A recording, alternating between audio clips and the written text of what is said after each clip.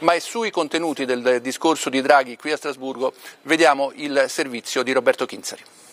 Difendere la pace è l'obiettivo principale dell'Unione e del governo italiano. Mario Draghi lo ricorda a Strasburgo, sottolineando come la guerra in Ucraina sia una delle crisi più gravi mai affrontate dall'Europa.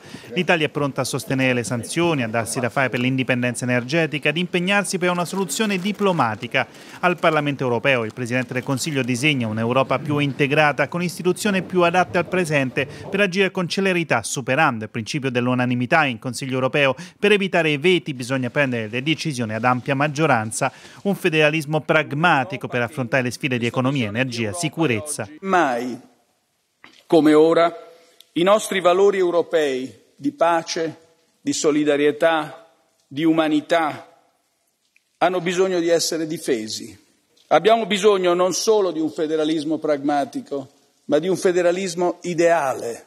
Se ciò richiede l'inizio di un percorso che porterà alla revisione dei trattati, lo si abbracci con coraggio e con fiducia. Contro il caro energia la richiesta di un tetto al prezzo del gas, una conferenza da convocare per razionalizzare gli investimenti militari nell'ottica di una difesa comune, guardare al Mediterraneo, evitare una crisi alimentare, allargare l'Unione, accogliere l'Ucraina. Proteggerla significa proteggere noi stessi, non può esistere equivalenza alcuna tra chi invade e chi resiste.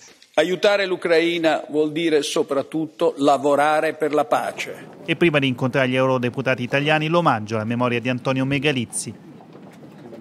Intanto continuano le indagini sui crimini di guerra commessi dalle forze di occupazione russa, conclusa la prima fase sugli orrori avvenuti nei dintorni di Kiev. Solo Erpin sono stati